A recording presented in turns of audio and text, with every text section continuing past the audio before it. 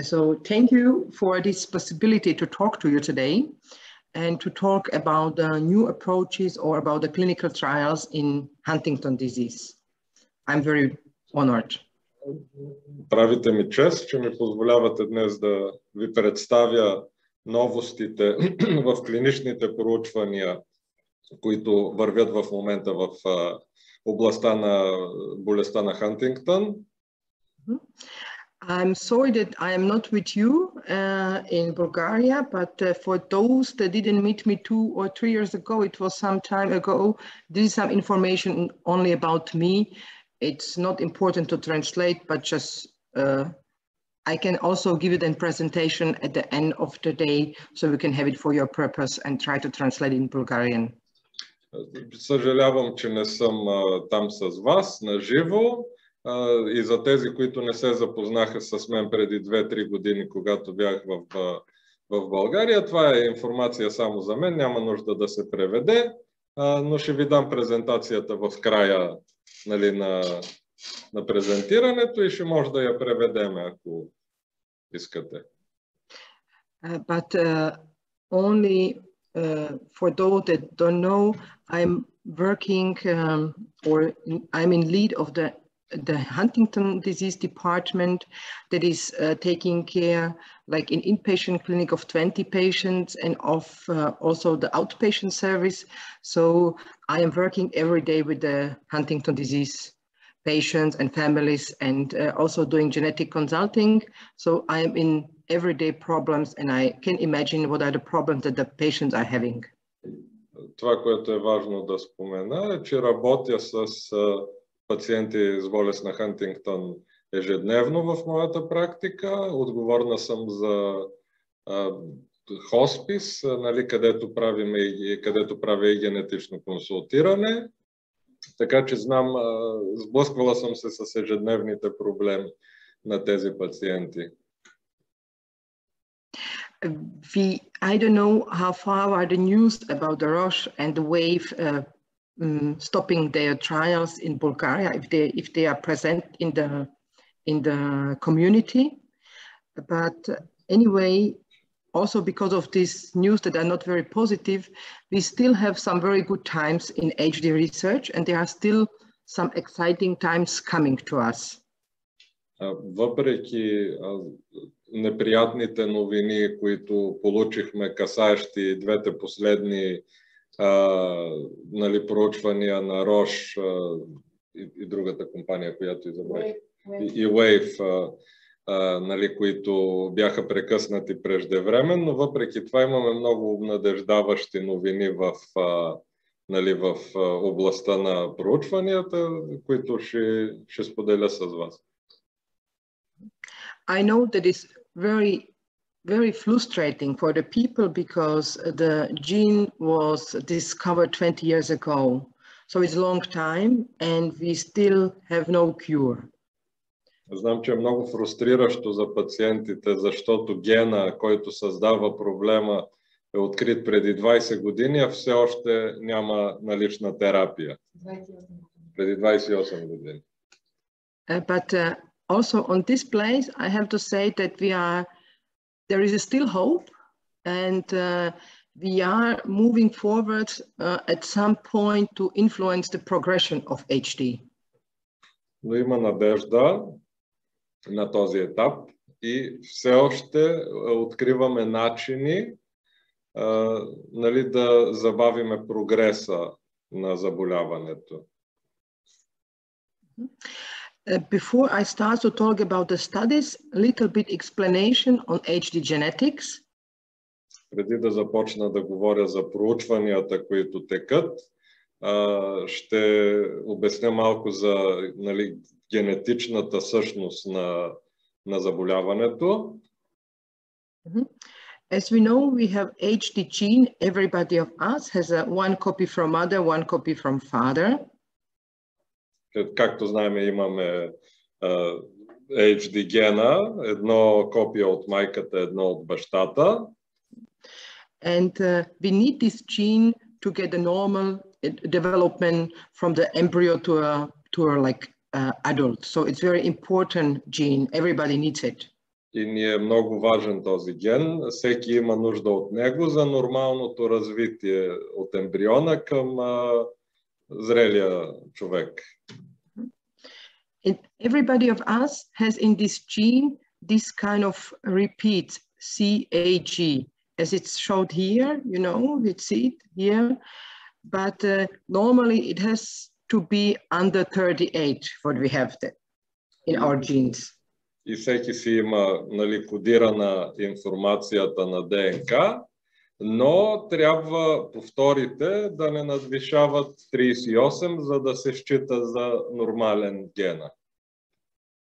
So if there is more than 36, 36. there is a there is a problem with getting at some point uh, the Huntington disease. We know when it's, it's between 36 and 38, you can uh, get some kind of mild form or very late stage, but we know that up 39, you will get at some point in your life HD.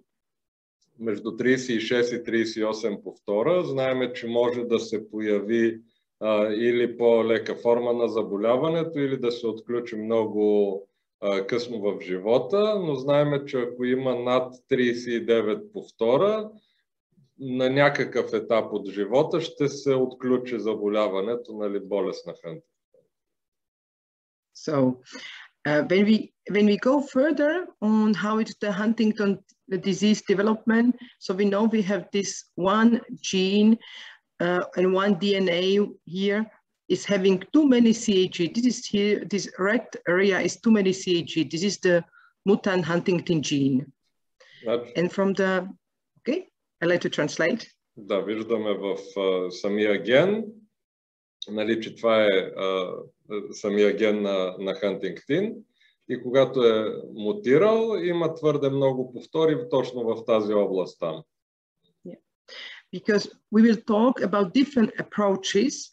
We need to know that from a gene, from DNA, this is the first bill, first picture, will be RNA. This is something like a step to the protein done. So we have DNA, then it comes RNA. This is the second picture. Имаме ДНК-то, което се превръща в RNA във втората картинка. And then it comes at the end to the protein, but we can imagine because DNA is something like a recipe, and from the recipe, the protein will be baked. So we cook the protein from DNA recipe. And if the recipe is changed with this red, too many CAG, then you see the protein is also changed. There's some kind of spot where the structure is changed. ДНК-то е като рецептата, с която се готви, създава протеина, хантингтина, и когато има твърде много повтори в, в гена, са- самия протеин се променя, самата рецепта променя нали, крайния резултат. And when you have this protein that is changed because of the gene, then there are the symptoms that occurs in, in terms of HD, like uh, because of the nerve and cell damage. So you can get a problem with your behavior, with your thinking, with movements, and unfortunately leading after approximately 20 years to death. But important is to see, because we will talk about the different approaches. So it's important to know that there is a gene, there is RNA, and there is the protein. Тъй като ще говорим за проучванията, е важно да знаем последователността. Имаме ДНК-то, имаме РНА имаме и протеина, който се произвежда. И именно вече този видоизменен протеин, наличието му води до симптомите на болестта на Хантингтон, като поведенческите проблеми, проблемите в когнитивните, които нали, за съжаление водят до, до смърт след около 20 години протичане на болестта. Because if we want to stop the disease, we need to act at some kind of level here. Either we have to go on the gene with the, with the genetic uh, uh, with, or uh, with genetic therapy, or we need to go to RNA, or do we need to go to protein? So we need to interference with one of these steps to influence HD so the HD is not coming like a disease? За да се борим с заболяването, трябва на един от тези три етапа да окажем някакво влияние, т.е. или на ДНК ниво, или на РНК ниво, или на, нали, на самия протеин трябва да противодействаме, за да не се изразява нали, симптоматично болестта по, по същия начин. Great. So here I just prepared some kind of relationship showing the age of onset is in the blue and the number of CAG repeats and what kind of onset we can wait. Like this 36 to 39, that you can just explain that it is late onset. The adult onset, the most of the cases are here getting the disease in as an adult. Then if you have more than 50, it can be early onset and also the pediatric or juvenile HD. So this is like only the understanding about the CAGs repeats. Това е просто горе-долу обяснение, за да демонстрирам как броя на повторите повлиява кога се отключва заболяването. Отгоре виждате, че е изобразена възрастта, на която се появява заболяването, а отдолу са броя повтори. Виждате с 36 до 39 повтора се очаква заболяването да се изрази в късния живот, в късната зрялост. 30 и 40 до 49 повтора се появява в вече зряла възраст. Тук виждаме най-многото случаи. И ако повторите са над 50 а, нали, настъпва по-рано, а над 60, над 80 повтора вече на, се води ювенилна форма на болест на Хантингтън, която настъпва рано в, в детството. Okay. Uh, so this is what is happening uh, that uh, when you have a, in the beginning, you have so many healthy neurons, this is the green lines, and they are like getting less because of your age and the disease signs are growing? В началото имаме много so, здрави неврони. Uh, the one.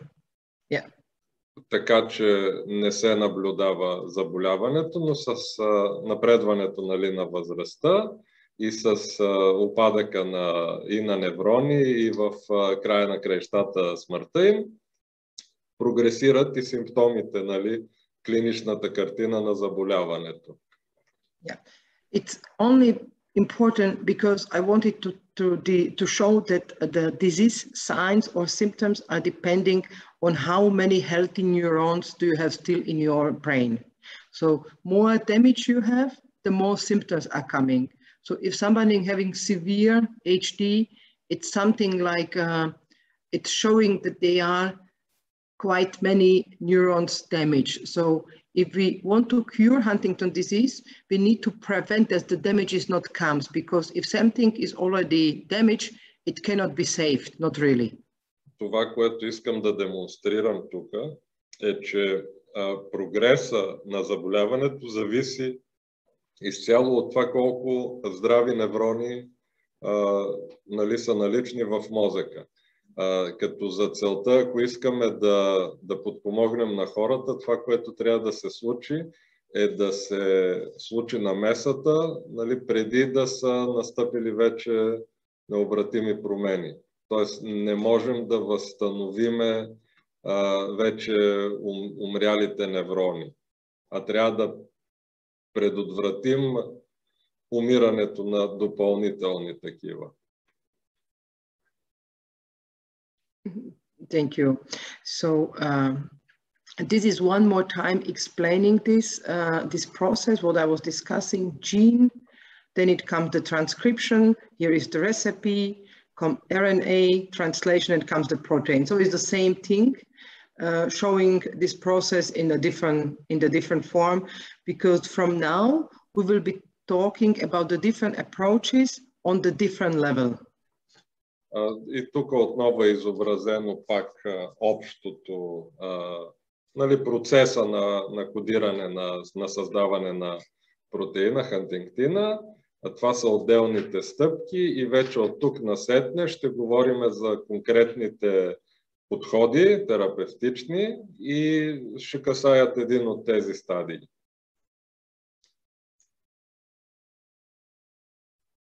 Okay, so I will continue. And here we have all the tools that are existing and I will explain these tools. And this is something like, you know, like a tool, uh, tool case. And now we look at which process, what we can do to stop this process, which tool we can use. Имаме един набор от инструменти. Това са различните инструменти. Това е нещо като котията ни с инструменти. И сега ще ви обясня кой инструмент срещу кой стадий нали, от а, този процес на, на кодиране участва. Only problem is that the instruments are very difficult names. But it's always like this. Че са много трудни имената на инструментите. Yes, you know, the more complicated name, the better instrument. It's like always high tech. Как, както в реалността, колкото по-сложно е името на инструмента, толкова по-ефективен е той. And this, to, this is to give you a hope. Here are the instruments in a table. Here are the DNA instruments, and we're talking RNA instruments and the protein instruments and their names. So very complicated, but this is to showing you there is happening a lot of things in the research. Unfortunately, this is the preclinical, this is the laboratory. This is the, uh, the light blue. Then the clinical, some instruments are already in the clinic. We will talk about those. And some are like about to uh, maybe get even further from the clinic to the patients. So this is to explaining where the different instruments are at the moment. The DNA instruments, where are the RNA instruments, where are the protein instruments. So maybe you can explain this a little bit. and the, the names of the instruments we will go through now. Използвах тази таблица просто за да ви покажа, да ви обнадеждя, да видите колко инструменти има и колко неща в момента, върху колко неща в момента се работи. Те са поделени на ниво ДНК, РНК и, и нали, протеина и инструменти срещу протеина, като за съжаление повечето от тях, както виждате, са в преклинична фаза, но някои от тях вече са минали към клинична фаза и един от тях даже вече плахо като че ли почва да се използва върху самите пациенти, т.е. излязъл е от клинична фаза. И сега ще разгледаме един по един а, инструментите. Okay. If there, if there are some questions, they should just ask. Ако имате въпроси, просто, просто питайте, защото после ще е по-сложно да обясним. Ако възникнаха въпроси до тук, питайте. So, and we will be talking today about the RNA targeting instruments because those are these studies that we are hearing in the community, ASO, Roche, WAVE. So we will stay on this approach. If I go back, we will be talking about this, about the RNA approach, because this is the mostly uh, used at the moment. Ще акцентираме върху РНК подхода, защото а, той касае проучванията, които бяхте, които вероятно сте чули от Рош и Wave и така нататък. Върху тях се работи най-активно в момента, така че ще, ще се а, нали, съсредоточиме върху тези инструменти. we have, Albert, we have a, we have a question. Yes. то главно работят върху РНК. Най-лесният етап ли е или the question, Alzbeta, is why uh, are we currently working uh, specifically or on the RNA approach? Is it the easiest to? Uh, because we, we, are working on all approaches, also on DNA, and maybe you uh, heard about the genetic scissors that to cut DNA out, you know, that would be the DNA approach but on we are working on all approaches as you have seen here uh, but uh, this one are the most advanced at the moment. They got, they got lucky, maybe because they are easier. This one here are quite difficult. So here we are still on the mouse model.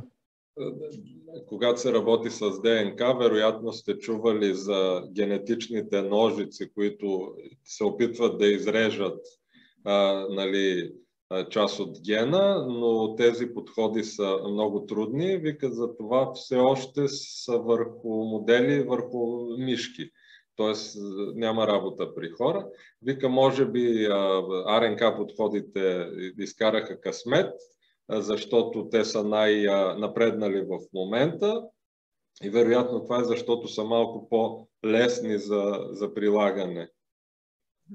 There are also uh, the ideas to uh, to dissolve like to uh, this protein to um, the protein to uh, get out from the brain cells you know there are also approaches about this on the last steps when the protein is done something like if you would imagine like to degrade the protein so there are also these approaches that are also very promising on this last step not dna but on the protein level Има и подхода, който касае а, нали, работа върху самия вече произведен протеин, така че има обещаващи а, проучвания и върху този последен стадий, като идеята е да се, да се денатурира, деградира протеина преди да е нанесъл щети в, в мозъка.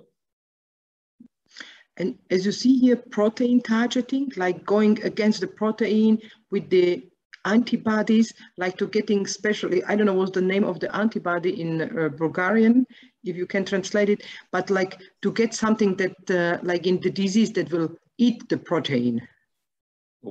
Опитваме се да създадем, ето виждате, таргетиращи, т.е. насочени срещу протеина подходи.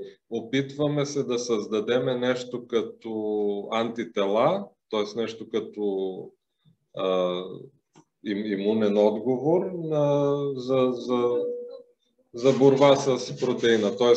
специфично него да го, да го напада и деградира.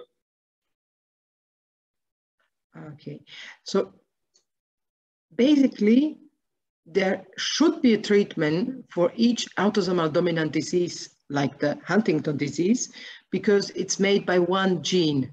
So if we cure the Huntington gene, we have probably find a cure, but there is like very, very rational hope that there is there's something that can be done. So the people shouldn't be very disappointed. Хората не би трябвало да са а, разочаровани, защото се счита, че ако, тъй като е автозомно заболяване, единственото, което трябва да се излекува е един ген. А, ако... But we need, yeah. Ако намерим отговора за, за това заболяване, намираме отговори за, на практика за другите автозомни заболявания. Тоест, това протича в реално време за, за различните заболявания. But it's important to find in which, in which process or in which, in the chain of this process, what I was showing, where we need to go, or maybe we need to act on the two places, like on the DNA, or we need to combine RNA with the protein. So it can be that the solution will be not one method, but two methods that we need to use. Това, което трябва да разберем е върху кой нали, от етапите трябва да се концентрираме, за да работим най-ефективно, но може би отговора е в комбинация от два метода, т.е. може би трябва да се действа върху РНК-то и ДНК-то едновременно, за да се постигне желания ефект. If you see here, you, we have a here uh, DNA. The DNA is made to the RNA, and from RNA would be the way to the protein. But RNA is the blue, there come the ASO. This is like some kind of, this is the medication, antisense oligoglucose, the red medication is binding on this blue RNA and when it binds on it, it destroys it. So here is the destruction and there is no protein produced. So this is how the ASO, this is the This is antisense oligonucleotides are working. This is the approach from Roche and from Wave. So I, maybe you can explain it with this blue and then the ASO red coming to the RNA and destroying it as it's binding to it. This red is the medication in this. Така, това е подхода, който Рош и Уейв опитаха. Нали?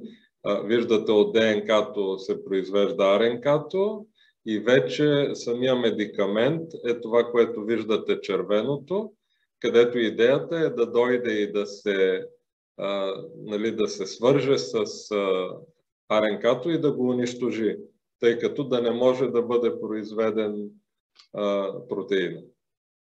И това са антисенс олигонуклеотидите. Асото. Exactly. So uh, there is a trial that was running with Roche. It was the name of the trial, very complicated.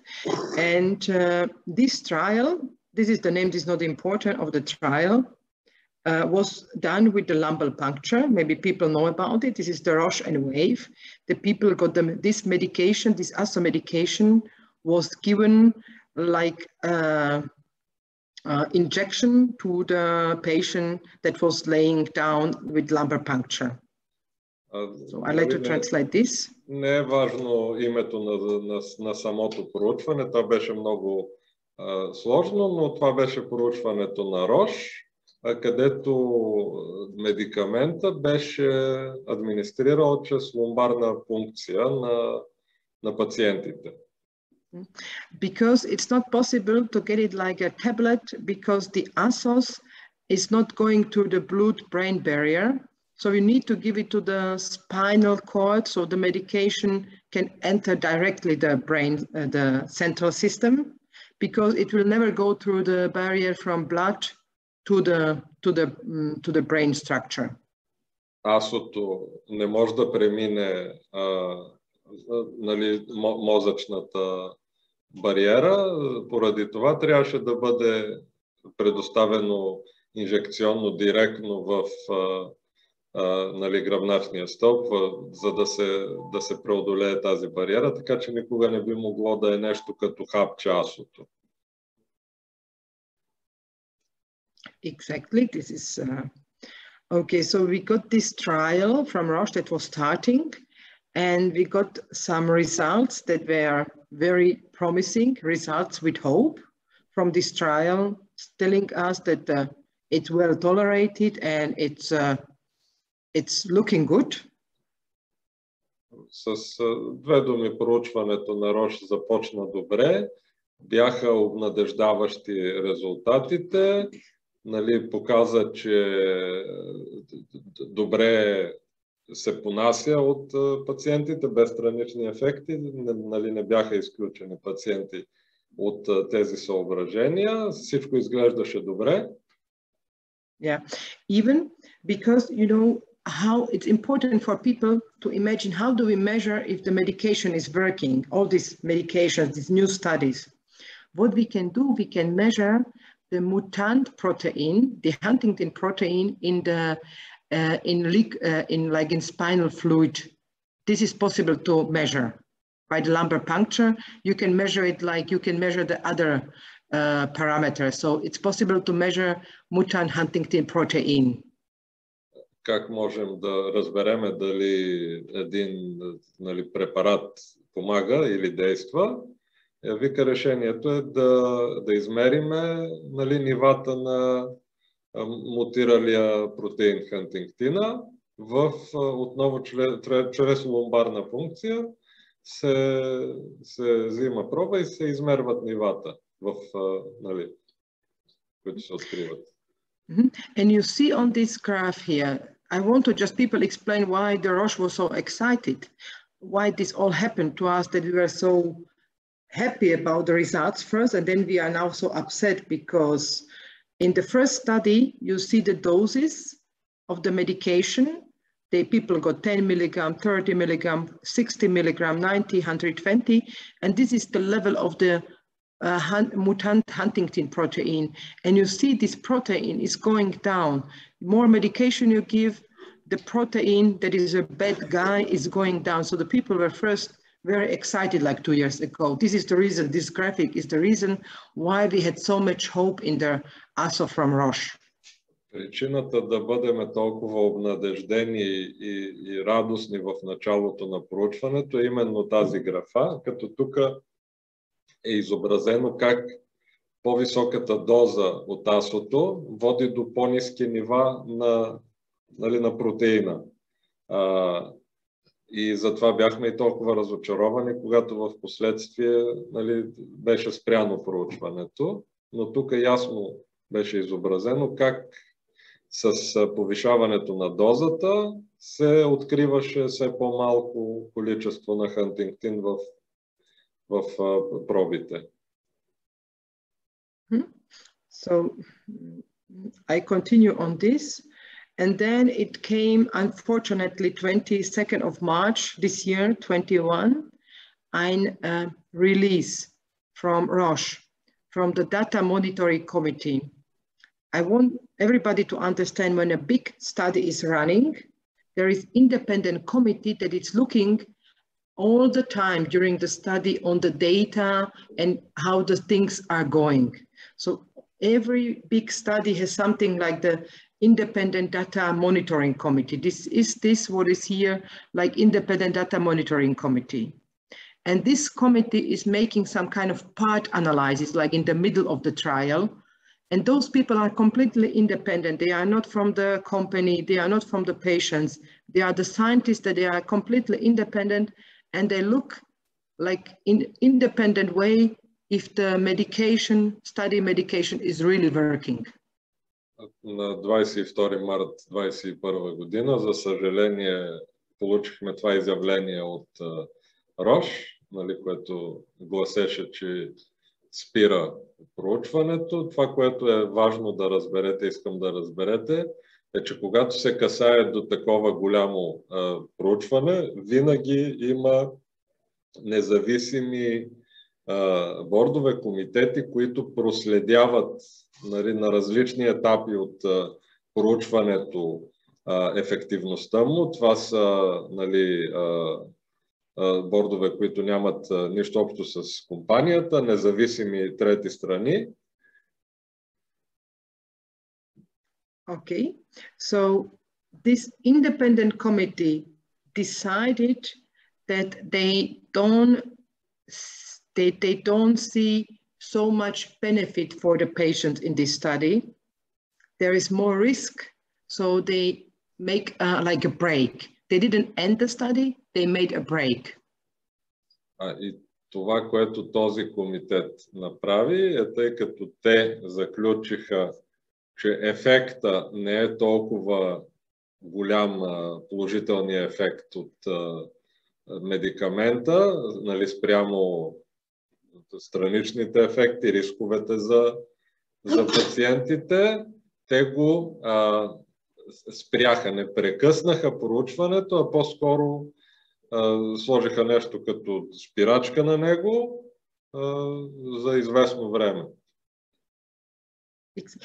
You, they make something like analysis. They put the risk of the study, or you see on the one side of the scale and the benefits, this committee make this and look, what are the benefits for the patient? What are the risks?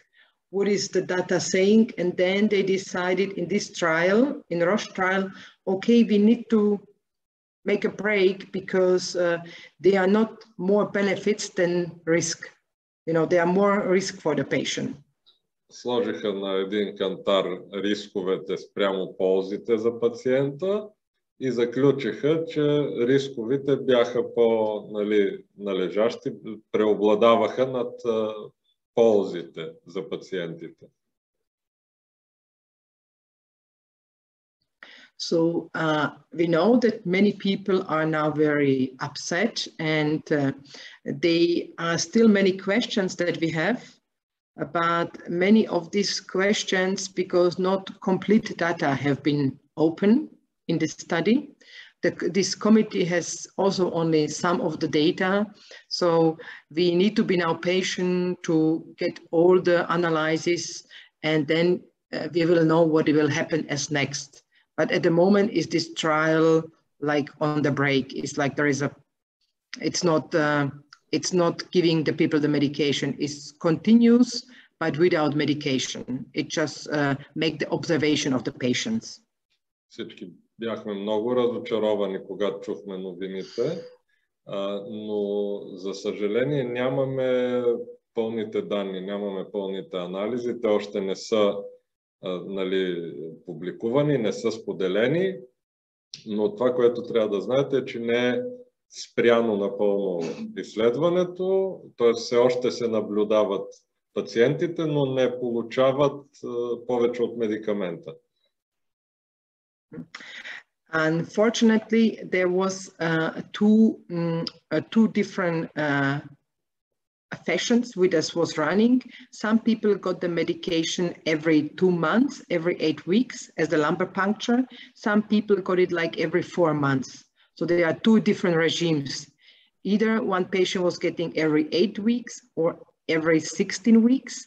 And we know nowadays uh, the blue one, eight weeks, was not better than placebo. We know this from preliminary analysis. And the purple one, the it was not bad, but there were not so many, not like apparent benefits. So uh, the so preliminary results not, are not so well. So this is the difference between eight weeks and 16 weeks if we look closer on the, the data what we have. Виждаме разликата между 8 седмици и 16 седмици, т.е. в първата група пациентите на, на всеки два месеца получаваха нали, доза от, от лекарството, а другата група получаваше на всеки 4 месеца. И в, нали, вече след първоначалните обработване на първоначалните данни знаеме, че в двата месеца резултатите не бяха по-добри за пациентите, които приемаха медикамента в сравнение с плацебото. А, пък в групата, на, където на 4 месеца се случваше приема на, на медикамента, беше по-добре понесен, но нямаше директно видими а, ползи. Okay. So uh, we have some more companies that are doing ASO, not only not only Roche. Maybe we know about the Wave, and their studies was called Precision HD1 and Precision HD2. They were doing like two trials. Има, знаем и за друга фирма, нали, която се занимаваше с АСО. освен Рош, като това касае фирмата Wave. Те имаха две проучвания, Precision HD1 и Precision HD2. What is important to tell the Roche ASO is reducing mutant huntingtin and normal huntingtin, both the good and bad guys, both. And it's on the principle that the good huntingtin will be reproduced quickly. So it's like uh, unspecific, non-selective. This is the Roche. The Roche is reducing both. I didn't mention it, that they are reducing like the mutant huntingtin and also like the, uh, the good one, like the normal huntingtin, because we have two huntingtin genes. So you have two huntingtin proteins always. You have a, when you are a patient, you have a bad guy and good guy, mutant huntingtin, and then a good guy from a healthy parents.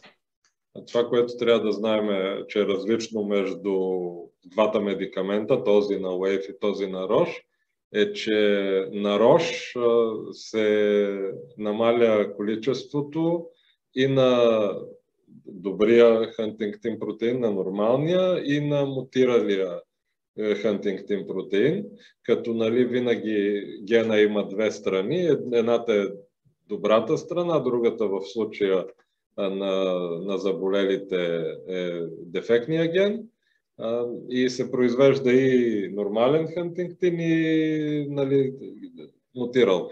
Разликата при Wave е, че тяхната молекула нали, таргетираше само а, лошия Хантингтин, само мутирала, мутиралия протеин.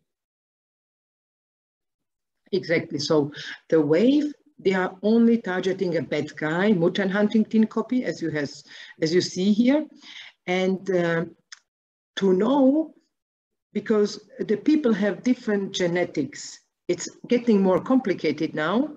So uh, they are something like on the mutant huntingtin, you can imagine they are called like SNP.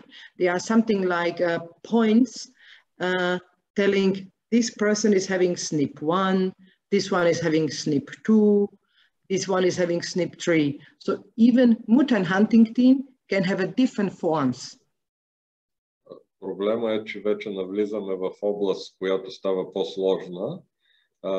Има едно нещо на самия мутирал Хантингтин, което се нарича СНИП и може да се каже, че този индивид има СНИП 1, другия има СНИП 2, третия има СНИП 3 Exactly. As you see here, some people have on the mutant huntingtin, that is mutant huntingtin SNP1, some have SNP2, or you can even have both. So it's different. Every, we are all different. So uh, first, before this wave study will take you as a patient, they need to make a blood analysis and look which SNP do you have as a patient.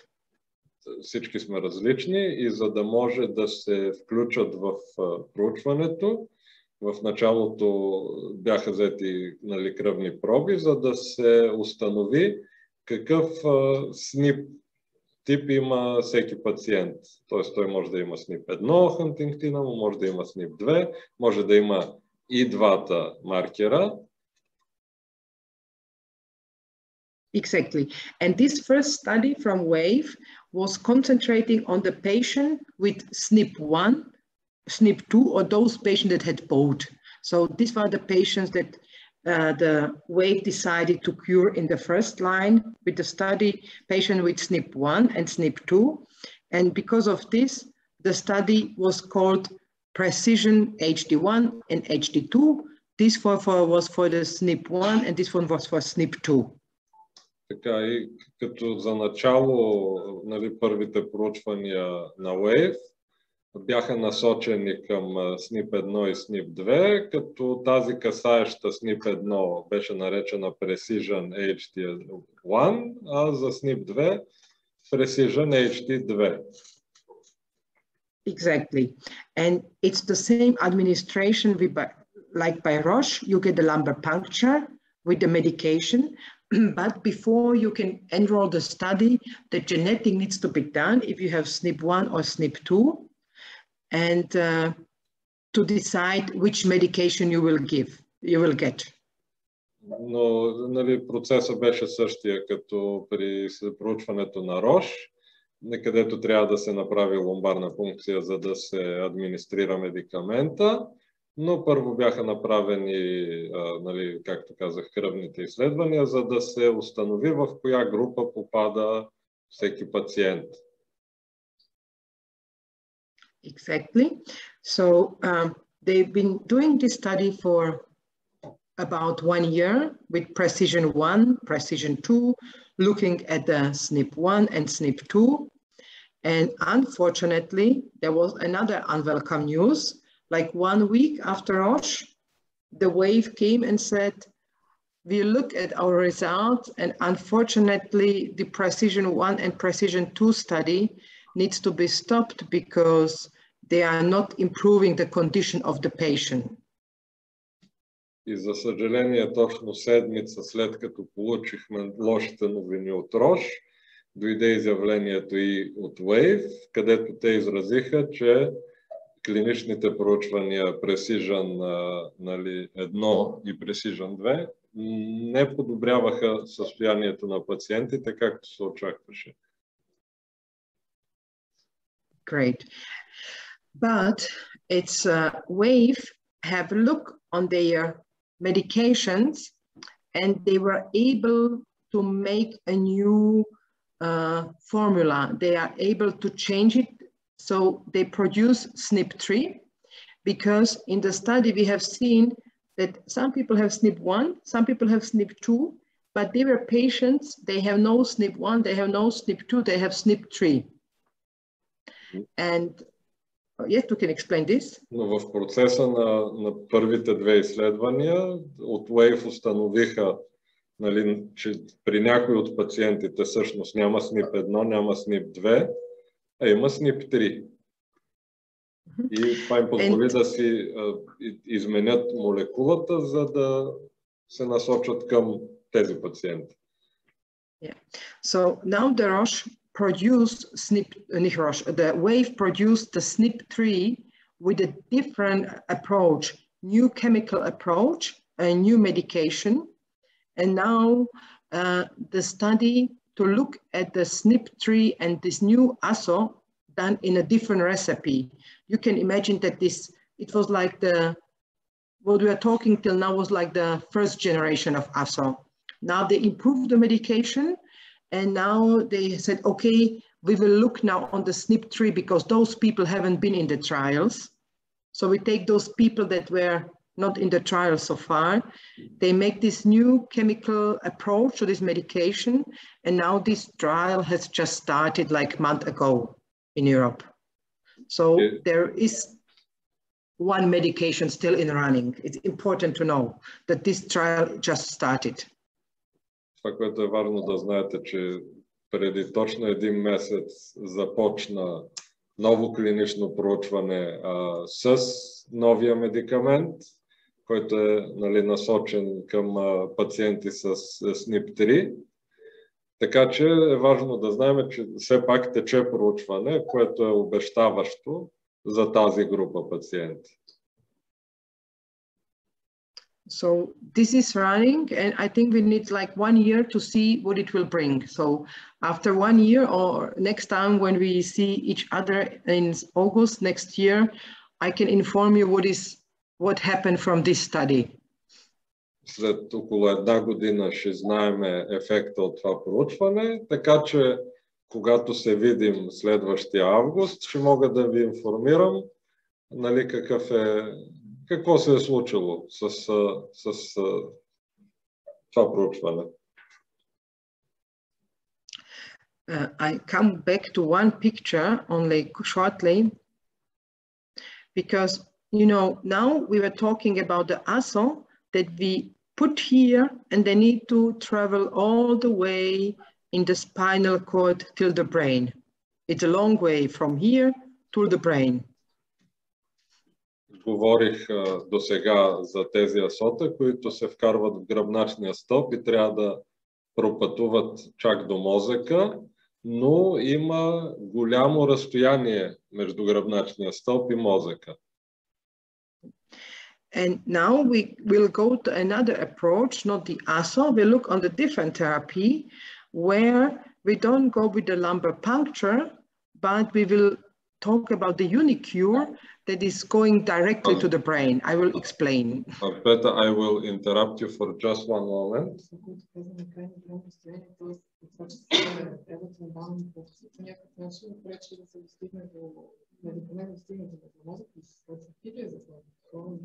Can you elaborate on your uh, last comment about the big distance between the lumbar puncture site and the brain? Does it does this uh, affect the the uh, effectiveness of the of the therapy of the treatment? Yes, yes, it can be a problem. Uh, we don't know so far, but this can be a problem that if you give something with a lumbar puncture, till it goes to brain, and then what you can imagine, the brain is a structure here. And you see if the muscles, they are on the top of the brain in spinal fluid. So they need to go in to the basal, uh, to the striatum, to the structure that are in affecting Huntington disease. And this is very difficult to get this medication to go from spinal fluid inside of the brain. Да, This точно, is, точно така. Трудно е, защото а, като се вкарва в а, гръбначния стълб, освен, че трябва да стигне до мозъка, а, трябва да премине, нали, защото церебралната течност е около мозъка в черепа и трябва да премине и самите мозъчни, мозъчни структури нали, до стриатума, където се наблюдават най-вече нарушенията. Това е много трудно за молекулата. And what is the unicure saying is saying this is very difficult to go from the lumbar puncture. We will enter directly the brain. So they inject the medication that is also working on RNA level, but they inject it directly to the brain with the injection. И това е нали, становището, позицията на Юникор, че е много а, трудно да се премине а, това разстояние, затова директно и, и техния е РНК подход, но те директно инжектират в мозъка а,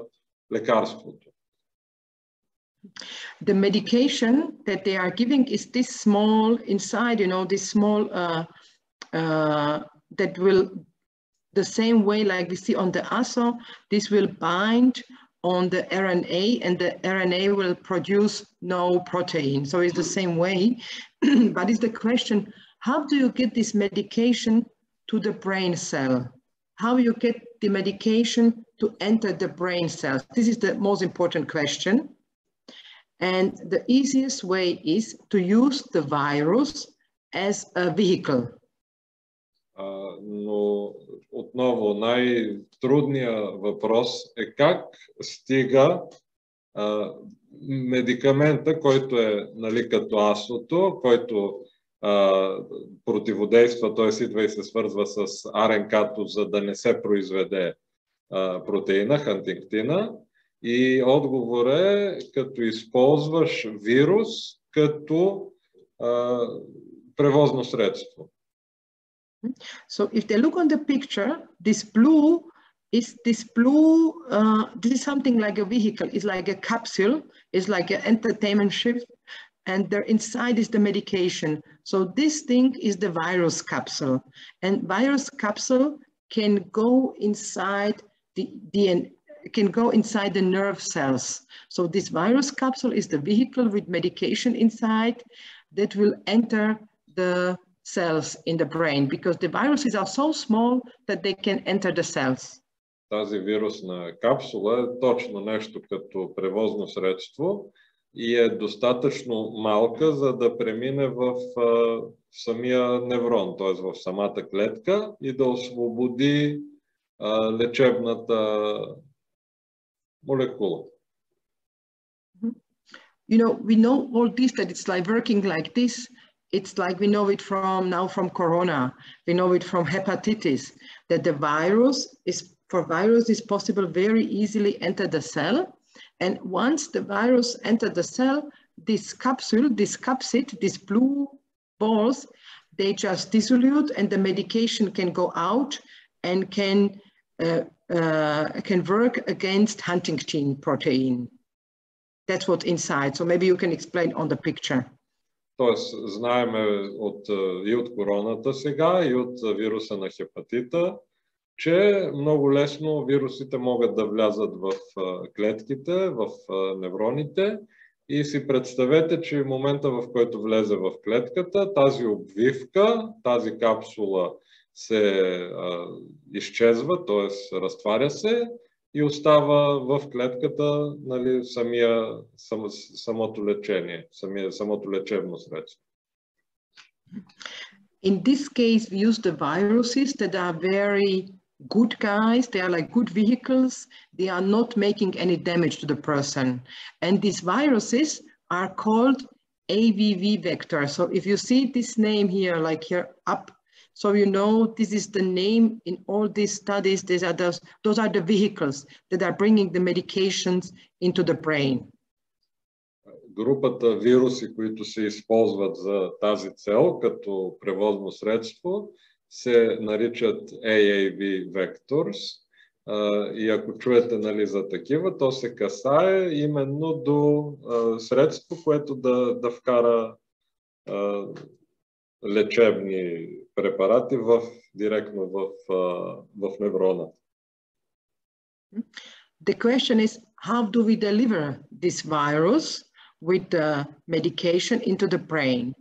It's done like one-time injection, intracranial. So you see the structures and where is the line? There the injection is coming. The patient is in the full narco, so you are sleeping when you are getting this injection.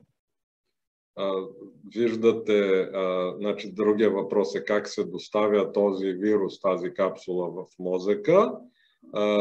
Изобразено на картината с мозъка виждате как минава самата инжекция, за да стигне до въпросната област на мозъка и това се случва нали, под обща анестезия, т.е. пациентът е заспал, когато се прави процедурата и се прави веднъж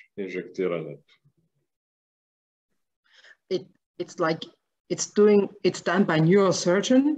The patient is sleeping and the injection because this medication is running very slowly this procedure takes up to six hours because the injection is going to the catheter and it's like there where are the lines there is the injection ways and it's like running slowly like drop after drop.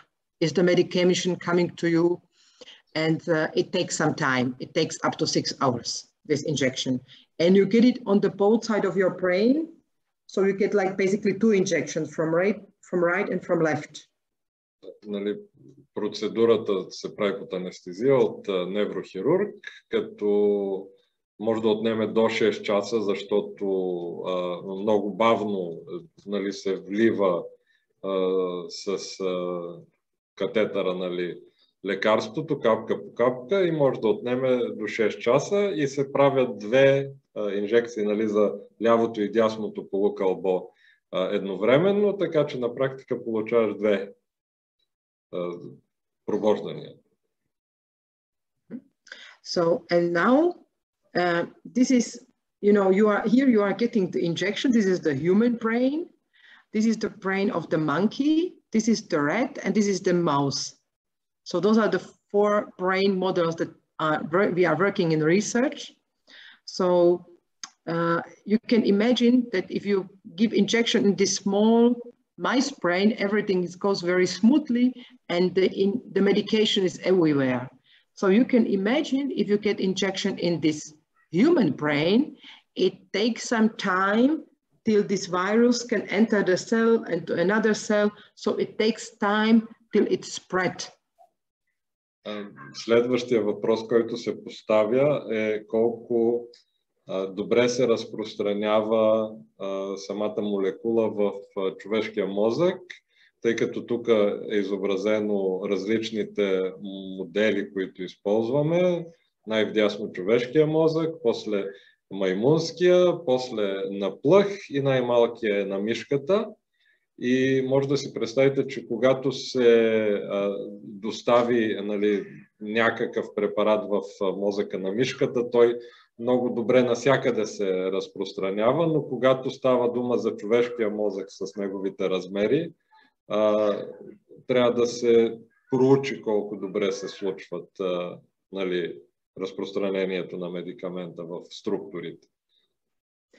Because we have so big brain, need six hours for uh, where this dropping slowly these injections because our brain is so big.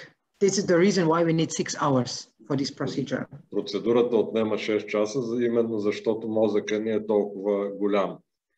Тъй като е толкова голям, трябва време за да се достигне цялата структура, която искаме да достигнем. Mm -hmm. I, you see, this injection, when they are running, uh, they are under the computer control. So they are like stereotactic. So this is the person that is getting the injection and this white is the medication and they are checking under the, under the control of the computer tomograph how, it's, uh, how this medication white is spreading in the brain. So those are the pictures when the medication is spreading in the brain. And you see the here the uh, uh, the build uh, the picture from CT, from computer tomograph.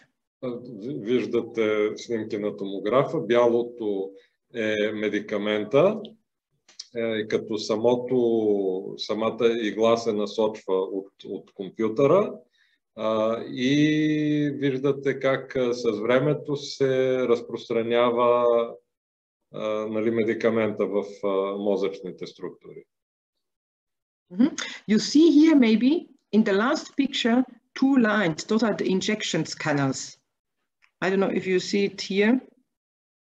Не, не знам дали виждате двете линии там, но това са каналите на инжекцията. They are very small, so you don't get like a big uh, big hole in your brain. This is like one millimeter, like very slow, like very small catheter that is bringing the medication to your brain. Много малки са нали, самите а, игли, т.е. идеята е, че не, не, не ти правят дупка в мозъка или нещо такова. Катетър е много мъничък, който доставя медикамента. And we know this medication is called intraparenchymal because we know intravenous is for the vena, for the, but intraparenchyma, parenchyma is something like a brain tissue. So it's like brain tissue injection. This is the name that comes from. И за това името е такова, не е интравенос, т.е. интравенозно, където касае нали, кръвоносните съдове, а интрапаренхинал, защото трябва да се мине през самите мозъчни структури, през мозъчната тъкан, за да се стигне до областта. Yeah. And here is for the uniQure. These are the, the red are the areas that are, that are affected by Huntington disease. So everything what is red, those are the areas where the neurons are going, uh, dying. And to those areas we need to go because these areas more red, more damage. So these areas we need to treat. And here green is the distribution of this medication. The medication is called AMT 130 after the injection. So the uniQure is saying our medication is going to the areas that are affected by Huntington disease. Така, с две думи в горната, нали, горното изображение, това са областите, които засяга болестта на Хантингтън мозъчните, където колкото по-наситено червено е колкото по-наситен червен е цвета, толкова по-активно се случва разпада на, на невроните в тази област. А, а отдолу с зелено е изобразено на самата уникюр нали, медикамента AMT-130, какво му е разпространението в мозъка. И т.е. те с две думи казват, че нашия медикамент достига точно областите на мозъка, които са засегнати от болестта. Exactly. So uh, this is again what I was telling you that we can measure the oh sorry that we can measure the mutant huntingtin protein. So this was also same. They were measuring the protein and uh, they saw the reduction of the mutant huntingtin protein. This is the animal study because they were measuring it in the neurons. They, this is the pig study on the mini pigs, uh, mini pig brain. So uh, they used the mini pigs. They, that was the preclinical study. These pigs got this medication and then they were measuring the how is the lowering of the mutant huntingtin protein. I told you that we can measure the huntingtin protein and they got some very nice results. You see the reduction of the mutant huntingtin protein, 40%. In some cases, uh, on six, uh, 67. So these are really good results. And these are different areas in the brain. How was the measuring, uh, uh how was the reduction in different areas? So uh, they are telling us we are going to all affected areas and we are reducing the mutant huntingtin pro protein with this procedure for the animal study. Това са първите а, проучвания, направени с молекулата на Оникюр а, и фактически те са направени върху мини прасета, върху нали, мозъците на мини прасета И е приклинично, т.е. Не, не, не, се, не са правени върху хора все още. проучванията, но показват много наистина съществено понижаване на количеството а, мутирал а, протеин, хантингтин, което може да достигне и до почти 70% намаляне на количеството протеин в зависимост от мозъчната област, нали, в която е замерен. Отдолу са, нали, всеки процент касае различна област на мозъка и спад в а, нали, количеството на, на Хантингтин. Това наистина много обещаващи проучвания. Great. And I want to tell you that now the first person were already getting this therapy because this trial just started in U US, in America, but also it's coming to Europe. So we have already the people that are getting the, this medication. So in one year, we will see if it's having some kind of uh, effect. So there is another hope on this medication. As you see, this trial has just begun, dosing of the patients. I think the first 10 patients in US are already getting it. But we need to be patient because we need to wait what happens to them because uh, it's a long time therapy. They get it once and then we need to we need to wait. Така, това е другото обнадеждаващо, това е другото обнадеждаващо клинично проучване, което тече в момента. А, много скоро, а, преди много нали, кратко време, първите 10 пациента мисля, че получиха нали, първата доза, но ще ни трябва време, за да видим колко добре влияе при тях, защото, както казах, е един път самото, а, нали, самото дозиране на медикамента в мозъка и трябва да чакаме, за да видим как а, се повлияват тези, тези 10 пациента в Штатите. А, и скоро проучването се очаква да се случи и в Великобритания. Идва към Европа. Okay, and uh, we need to say that uniQure is also non-allele specific, uh, so better, uh, it means that it's uh, reducing the mutant huntingtin, but also the good huntingtin, because they are they go from the fact that the good huntingtin will be reproduced very quickly and the bad huntingtin cannot do any kind of damage. So it shouldn't be a problem. This is the idea behind, but it's non, non-selective. It's not, it's going on the both Huntingtins, good and bad. Да се спомене е важно, че нали, лечебната молекула на оникьор не таргетира избирателно добрия или лошия протеин, влияе и на двата, но там нали, мисълта, допускането е, че добрия хантингтин може да се възпроизведе много по-бързо, а, така че ги атакуват и двата, за да унищожат лошия. Okay. There is one more company called Voyagers Therapeutic, and they have the same principle doing the same thing, using the virus. They have the own medication, doing the also the injection, everything same, but they are uh, they are in the preclinical studies, but they are about to come soon again uh, to the uh, to the clinical study. Има още една нали, фирма, фармацевтична, Voyager, която на практика прави същото нещо като Unicure. Те по същия начин използват вирус, за да доставят медикамента с инжекция в, в мозъка. Да. Yeah. And the difference is also that the Voyagers have a selective approach in compared to the another one, they will only selectively uh, reduce the mutant Huntington protein. Разликата с медикамента, който Voyager изпитват, е, че техния е селективен, т.е.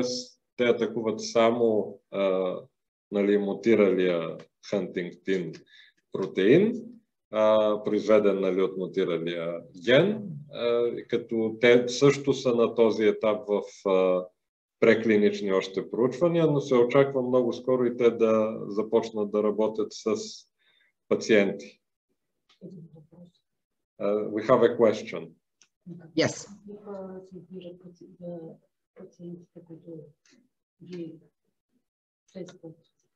How? Based on what uh, principles are the, the clinical, uh, well, are, are patients considered for the clinical trials? Age, severity of symptoms? Uh, uh, they are about the same criterion like in a WAVE trial. I have it here, just a second, we can have a look here. So normally, this is, the, you see the key enrollment criteria, we can look at this. So those are the patients that are able to come to the ambulatory treatment. They need to be like independent, like able to, uh, to, to make a call. They need to be like in uh, stage one or two, like in the beginning of the disease, not too sick. So they need to be independent in daily activities, in making the meal, in calling, in going shopping. So this needs to be some kind of patient that is still able to uh, uh, actively work and provide information. It should be patient between 25 years because these studies, they want, they do not want to have juvenile patients because juvenile HD is a little bit more complicated and have some kind of special regulations. So uh, you see the, uh, and then it's also what is important, they need to have a confirmed uh, Huntington disease by genetic testing. It's very important. So there needs to be genetic testing done as a criterion. And the patient needs to have some doctor that is saying you are you have the clinical sign of the disease. So you have you have the disease. This is this diagnostic confidence score. So four means uh, you have disease. You you are not pre-manifest. You need to be manifest for the trial. And normally are the patients in like early stage in the beginning of the disease. So maybe you try to summarize Така, значи, това, което е важно е да самия пациент да, да може да се самообслужва, да, да има известна степен на независимост, т.е. да може да посещава сам лечебното заведение, където се прави, където се нали, дава медикамента, където се прави проследяването, да може да участва в телефонни разговори, да може да се самообслужва, да може сам да си приготвя а, нали, храната, да е в първа или втора фаза на заболяването. А, няма значение дали е мъж или жена, но искат да са над 25 годишна възраст, т.е. не искат пациенти с ювенилна форма поради съображения за нали, там, законодателство и по-специфичната клинична картина на на, на пациентите с ювенилна форма. Също така трябва да има потвърден генетичен тест за а, наличието на, нали, на болест на Хантингтън, както и а, невролог да е поставил, т.е. да е установил, че вече този пациент е симптоматичен въз основа на нали, там диагностичния инструмент. UHDR са confidence score nad raven na 4. Exactly. So then we, it's, some studies have a different, some, each study has their own inclusion criteria that are like written in the study protocol and the study site or the doctor needs to follow the uh, this uh, this criteria And it's also sometimes there is also written the patient is not allowed to live too, too far away from the center. For example, only two hours from the center. So he can come or she can come if the help is needed. С две думи, това са общи критерии, но разбира се, всяко проучване може да си има специфични а, негови си критерии, като може да има и критерии, че пациента не трябва да живее твърде далече от а, лечебното заведение, където се нали, провежда проучването, примерно на 2 часа разстояние трябва да живее, за да може да посети а, сравнително бързо заведението при нужда и така нататък. Yes. And uh, I want to show you one more thing, uh, what is very exciting, because we were now talking about the lumbar puncture, about the in brain injection, and not everybody likes needles, you know. there are some people that like to take rather pills or to take something like orally. Сега ще ви споделя още нали, едно, един обнадеждаващ факт. До сега говорих за терапии, които касаят а, а, ломбарна пункция или директно инжекция в мозъка, но нали, не всички обичаме инжекциите, както знаете. Така че сега ще споделя за медикамент, който може да се приема устно, под формата нали, на хапче. Yes, and there is uh, the company called PTC Therapeutics, and they have a compound, they have a medication that is called small molecule because it's very small. It's like a small molecule, the name of the medication. And this medication was already tested by uh, spinal muscular atrophy. It's another disease by children. And those are children getting the disease very early and dying like in age of five or 10 years. And this medication is working in the children. And it's called small molecules because it's so small that you can take it as a pill and then you swallow and then it goes through your gut to the blood. And from blood, it goes over the brain barrier to your brain tissue. It's because it's so tiny. So this is the medication from uh, PTC Therapeutics called, they got this in other in indication and now they are coming with this small molecule that is working by children in another nervous disease. They are coming to Huntington disease. Тази фирма PTC Therapeutics, те са създали а, един медикамент, който се приема устно, който се нарича Small Molecule. Самото име на медикамента е малка молекула, именно защото а, нали, самата молекула е толкова малка, че тя може да се приеме през стомашно-чревния тракт, да премине през чревната бариера, да влезе в кръвта и оттам да достигне, а, нали, да мине и мозъчната бариера, да влезе в мозъка. И а, хубавото е, че вече знаеме, че работи въпросната малка молекула, small molecule в а, друго заболяване, спиналната мускулна а, дистрофия, т.е. при деца, заболяване с много бърза прогресия и там вече е изпитано това нещо и работи, а сега насочват вниманието си към болестта на Хантингтон от PTC Uh, therapeutics. Mm -hmm. And the small molecule comes here and works on this translation, oh, sorry, on the translation level. So from RNA will no protein will be produced. So the small molecule is so small that it comes from the blood to your brain to stop the translation. So no pro huntingtin protein will be built. И начинът по който работи small molecule, малката молекула, Тя си идва отгоре от кръвта, минава бариерата на мозъка и а, възпрепятства нали, РНК-то да кодира хантингтина. Т.е. там прекъсва това и не се произвежда протеина. Okay, and uh, this is this what is small molecule doing it's increased degradation of mRNA. So uh, there is no RNA coming to the translation, so no protein will be produced.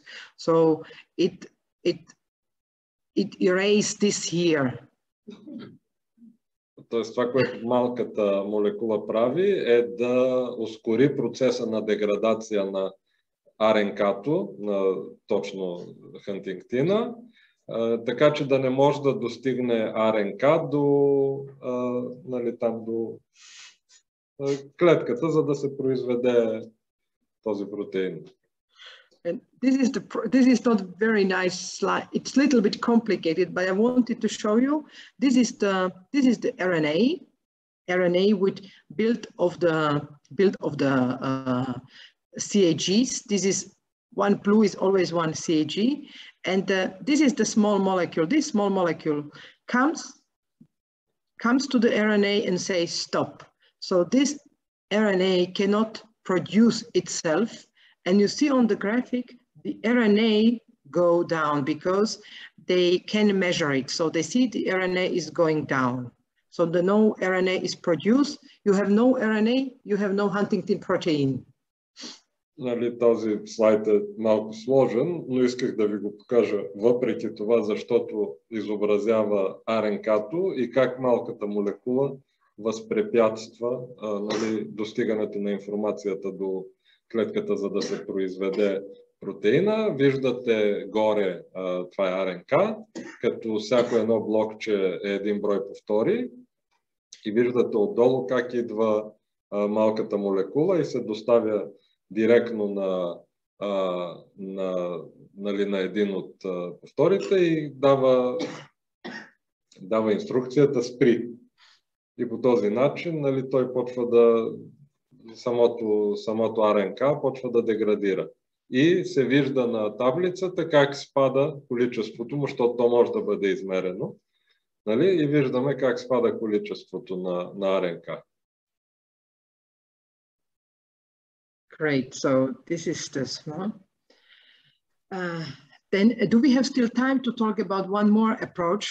Do they, or do we need some break? Is it okay to continue? Да, да, да продължим ли да обясним за още един подход или имаме нужда от малка почивка? I need maybe like 15 more minutes or something. Трябват ми още 15 минути, за да довърша. Everybody wants to keep on going.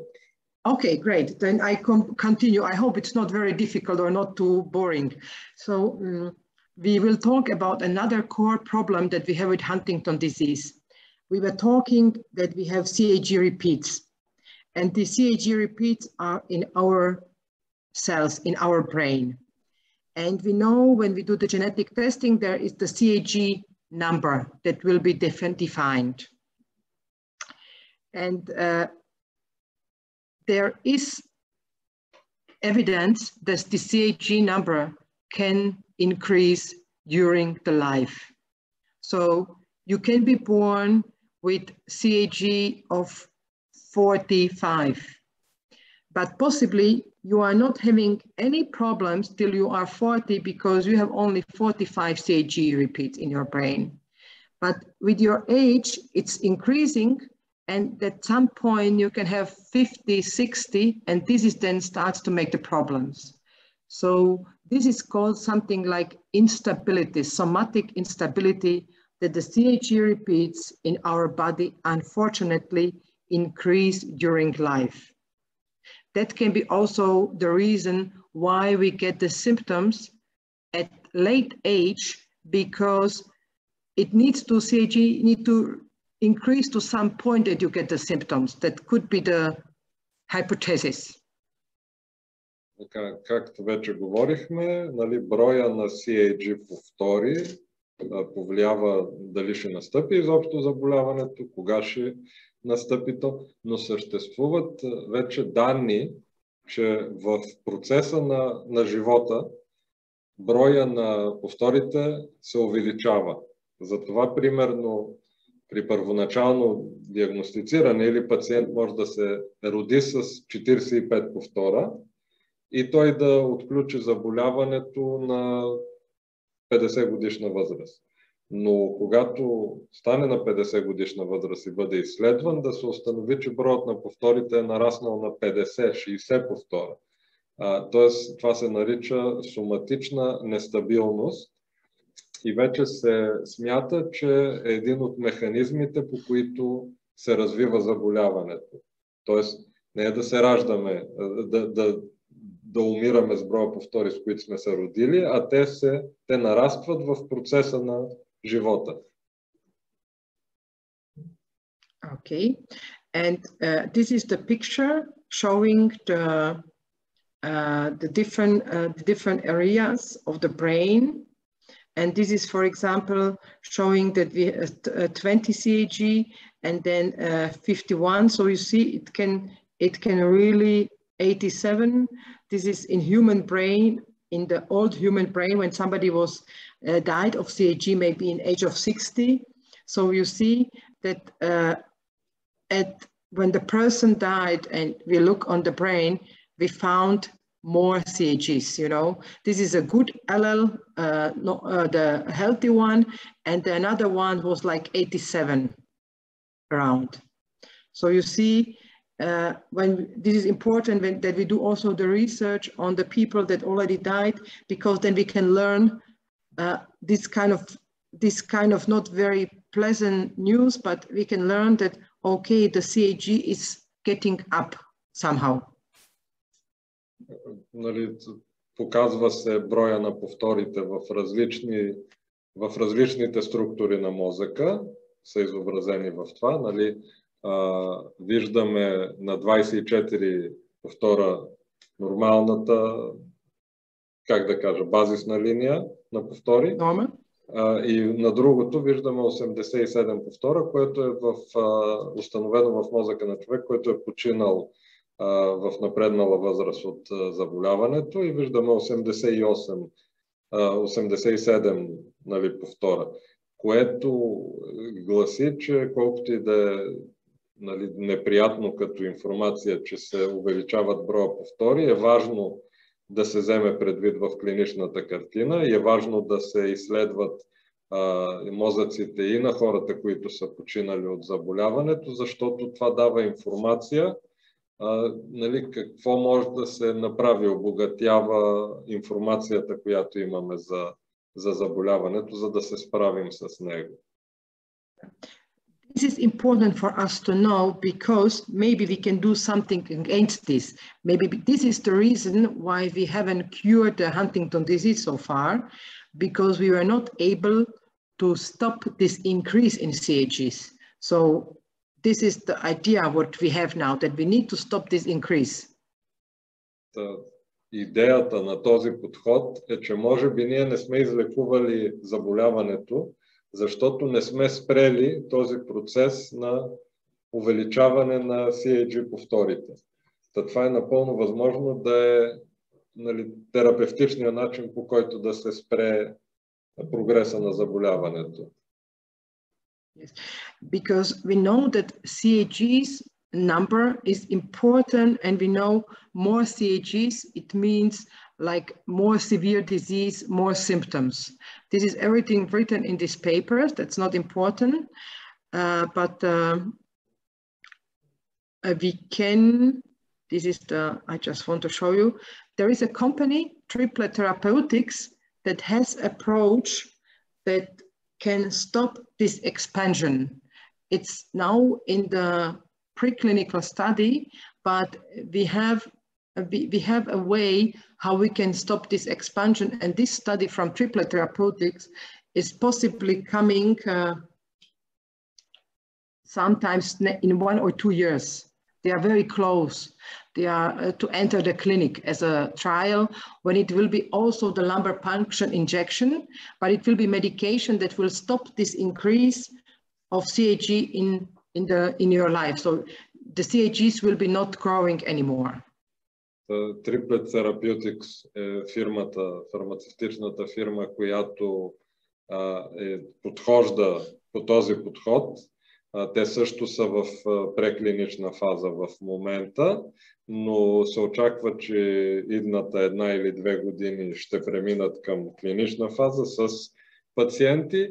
По същия начин ще се случва ломбарна пункция в гръбначния стълб с медикамента, но идеята там е, че ще спре нали, нарастването на броя повтори тяхното лечение, така че да не се изяви заболяването в а, бъдещето. Да не прогресира. And what is also important, uh, we know about the genes that are helping us to repair our system.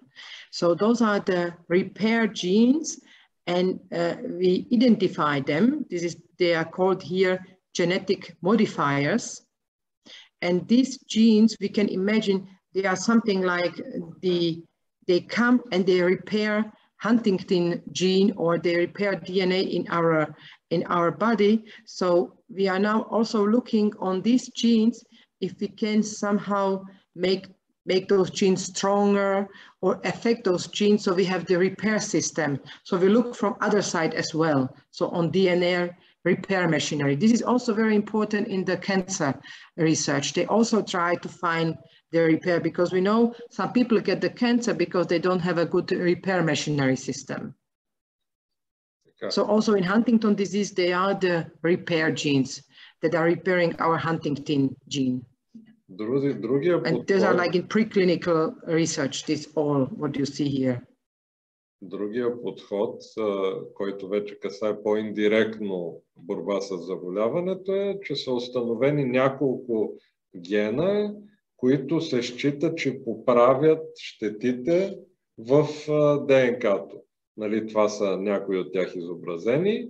А, нали, а, идеята тук е, че могат да поправят а, щетата, нали, едва ли не мутацията на, на дефектния ген, така че да не може да се изрази по този начин заболяването. Това също сега много се работи върху него във връзка с а, а, търсенето на терапевтичен подход срещу раковите заболявания, тъй като някои хора получават рак, защото системата им за поправяне на, на тези грешки не работи както трябва. Така че и там са много обещаващи. Exactly. So this is also uh, this is also very important, and uh, this one was okay. This everything to the repair genes. Uh, this is the smart. In, okay, so this we had. Uh, this is the overview from everything we were talking. How the how the genes the methods are called. Uh, but uh, I think this is this we can skip because this is also only like the summary of that what we were talking about.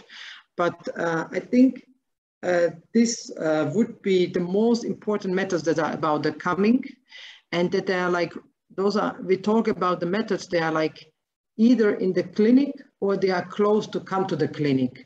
So there are a lot of hope that is coming. So it's, uh, even if the Roche and wave need had functioned, but we have still the uniQure, we have the virus vehicle, we have the small molecule, we have the reducing of CAG with triplet therapeutics. So we have a lot of approaches that are coming. Посланието, нали, минахме няколко слайда, които бяха обзор на всичко това, което говорихме, после може да ги видиме. А, но посланието, с което искам да ви оставя, е, че има надежда на хоризонта, въпреки че Роши Уейв нямаха желания ефект. Съществуват, както ви казах, много други проучвания, които са на преклиничен или вече клиничен даже стадии, така че следващите няколко години ще а, видим нали, какви са резултатите от тези проучвания и вървиме в добра посока. С все повече и повече нови методи за борба с заболяването. And I thank you for your patience. All the patients that are like patient and have motivation and uh, uh, stay with us and doing all this, watching this and are waiting patiently. I think it's very important that, uh, that you all stay motivated. Благодаря ви много за търпението ви и нали, че сте ангажирани в а, областта и това търпение нали, надяваме да бъде отплатено скоро и за вашата мотивация. And those are my patients at our clinic.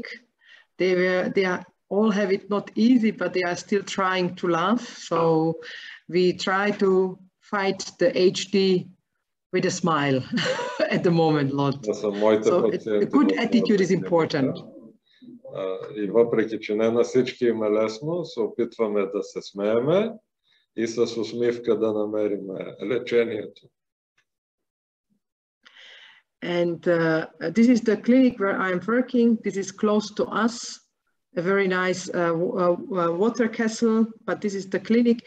So if anybody know a doctors or the therapist or the physician that would like to come to us and work with us and then go back to Bulgaria, it's not a problem. We can offer a fellowship so we can train you. If you would like to do, so we can organize everything for you. So uh, if there is uh, interest for fellowship, we can look at our clinic so we can help you to get more information or some for the pay to if you have some I don't know if you have a professionals today there but uh, or if there are the questions you can you can ask uh, Natalia or and she can ask me or you can ask uh, me directly it's not a problem Така, това е клиниката ни. Тя се намира близко до този прекрасен замък в, нали, в реката. Е, но имаме възможност, ако има интерес, нали, медицинско лице, да дойде при нас, да бъде обучен в центъра ни, можем да организираме фелошип, как ще го преведем, като като стипендия, да. Тоест да отиде, да бъде обучен, да се поемат разходите, за да а, докара в, а, обратно в България тази информация. Ще се радваме. Okay. Are there some questions that we could answer? You, you can ask any kind of questions. Имате ли каквито и да било въпроси, които да се опитам да, на които да се опитам да отговоря? Има, да. Колко време се карат тези пациенти в клиника? Това е клиника или пише дом на компютър? Клиника е за болница.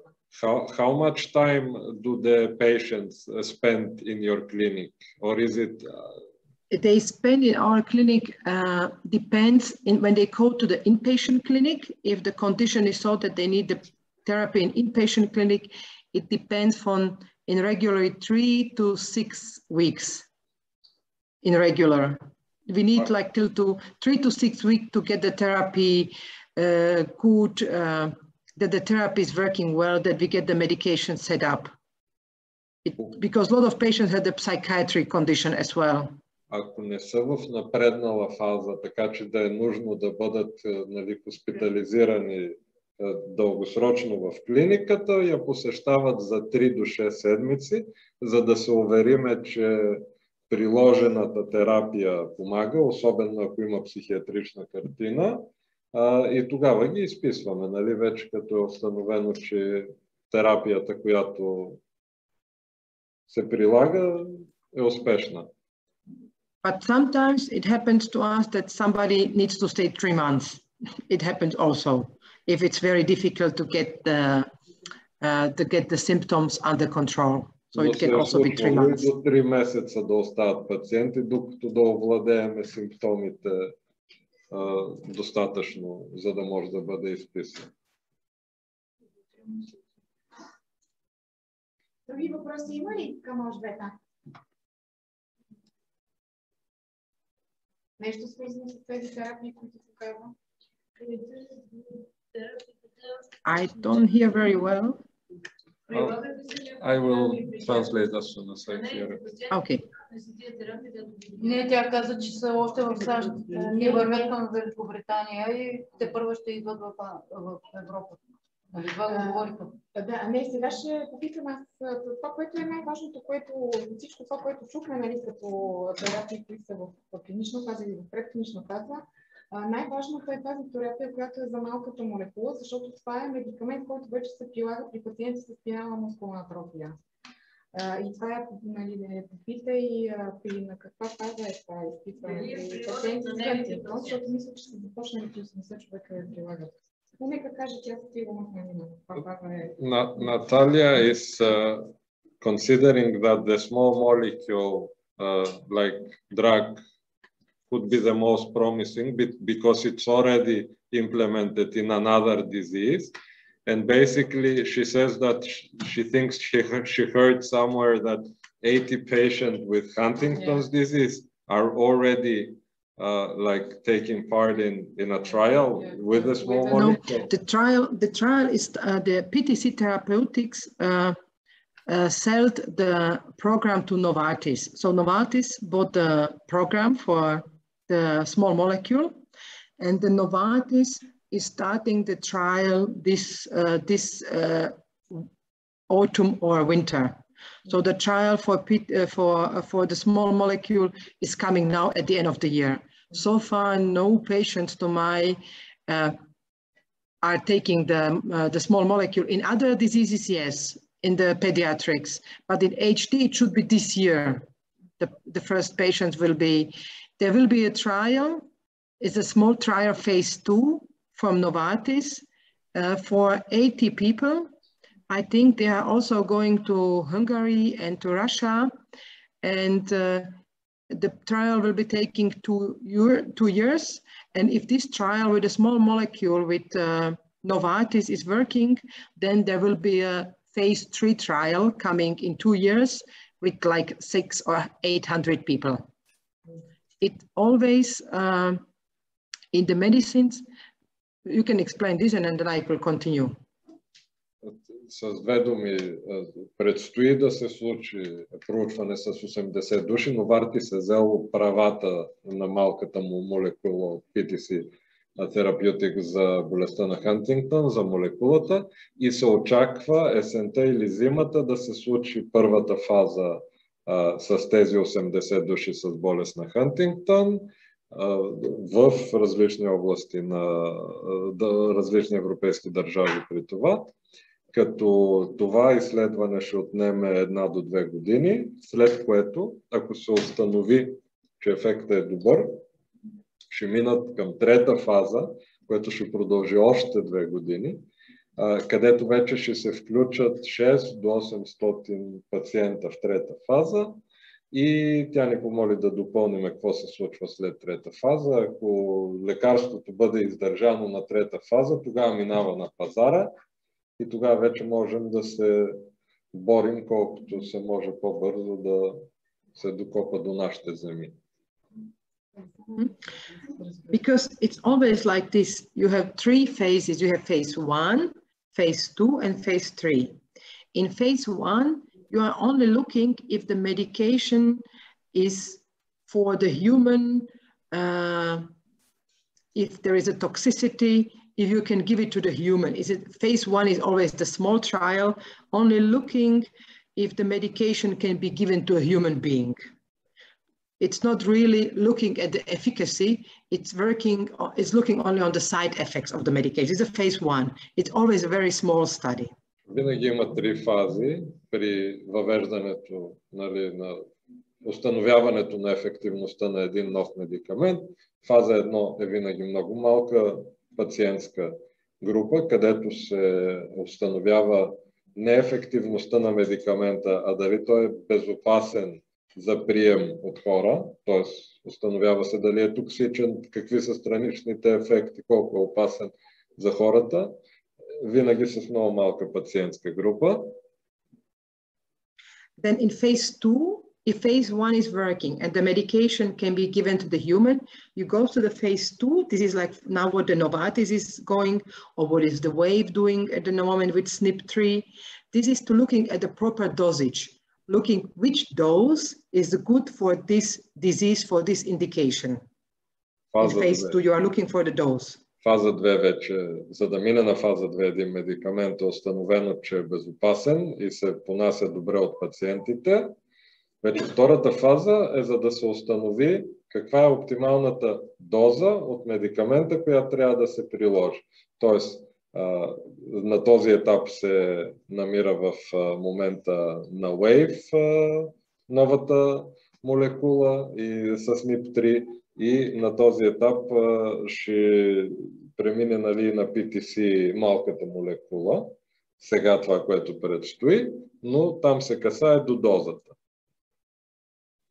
And if the medication was given in another indication, for example, the uh, the small molecule was given by SMA by the uh, at the with children or with children neurology, then you can skip the phase one and go directly to phase two. So you can start with phase two if your medication was given in different disease already. Above, so you know it's nothing happens to human being. в случая на малката молекула, тъй като вече в друго а, нали, заболяване е протекла първата фаза, тя може да бъде прескочена, т.е. вече се води, че е достатъчно безопасен медикамента, за да се мине директно на фаза 2 в нашия случай. И това се случва нали, с а, малката молекула. Почваме директно от фаза 2. And if you know uh, what kind of dosage you need, you know, you know how many milligrams you know you want to take in the phase two, then you go to the phase three. And phase three is always a big trial, many countries, many patients, because, and it's also double blind. The patient doesn't know what he takes, the doctor doesn't know what he's giving. So, and if this is working, then the medication can be given officially to the patient. Then it's like registered for the market after the phase three. This is a big, always double-blind trial. Така, и вече ако издържи на втора фаза медикамента, установи се оптималната доза, която да се администрира на пациентите, вече минаваме към трета фаза, нали, където, както казахме, това е голямо проучване и е двойно сляпо. Тоест, нито пациентите, нито лекарите им знаят дали пациента приема медикамента или плацебото. И вече, когато мине тази фаза и ако се установи, че медикамента има желаното действие за пациентската популация, вече може да се а, дава свободно на пазара. То навлиза в пазара. Exactly. So this phase three is necessary for all medication because they get registered before they get registered with European Union. And this is now getting everything quicker because that it's like very important medication. So you can get something like a fast track. So if you see after one year in phase three that your medication is working, that's why the Roche was doing the analysis because they want to see is my medication working. If it would be working, you can already apply the registration in European Union to get medication very quickly on the market.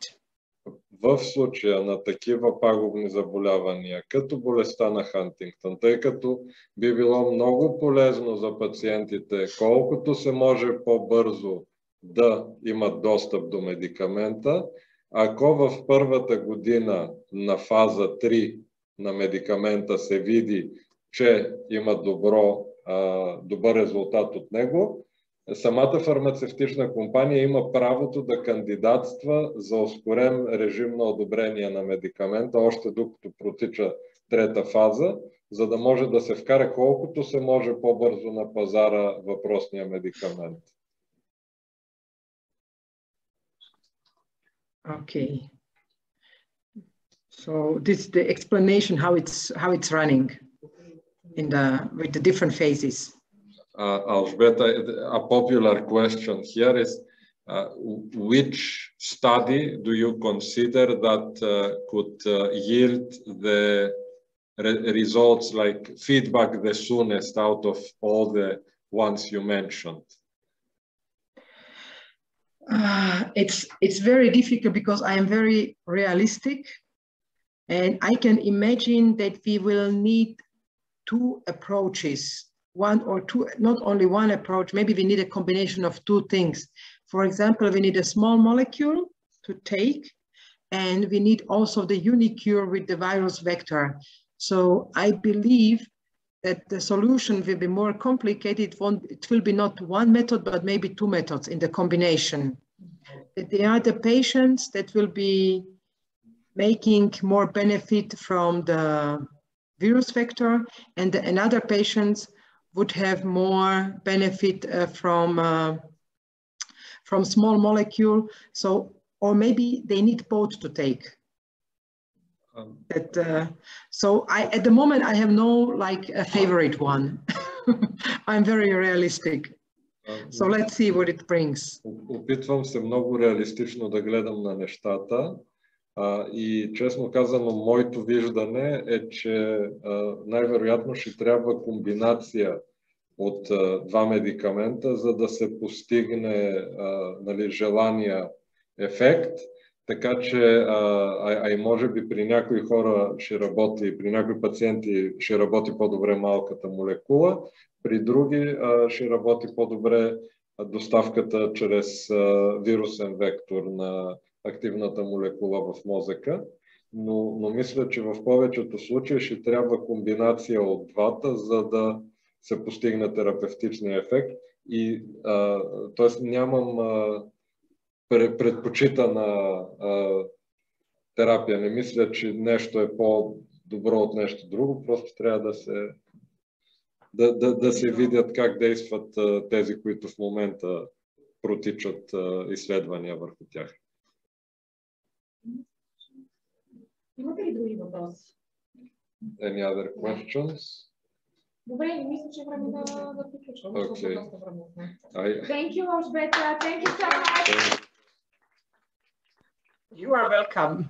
Now you, I, I hope that you have a nice lunch break now. Надявам се да се насладите на, на, на почивката сега. Okay. Thank you very much. Thank you. Thank you. Thank you. Please. Uh, Okay, send us- thank you. Bye-bye. Bye bye. Bye.